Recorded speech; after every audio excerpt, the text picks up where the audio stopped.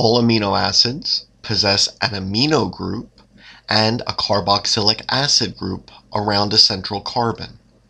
The central carbon also attaches to an R group, which can vary, and this variable group determines whether the amino acids are polar or nonpolar or acidic or basic, etc. When amino acids react forming peptide bonds, this leaves one side of the peptide with a free amino group and the other side with a free acid group.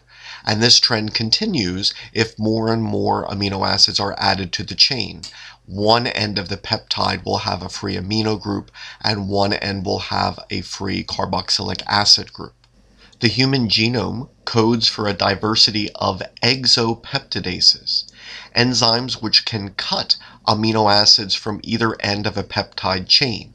Some of these are carboxypeptidases because they can remove amino acids from the carboxylic acid end of a peptide chain, while others are aminopeptidases because they can remove amino acids from the amino end of a peptide chain. Most exopeptidases do not function in digestion.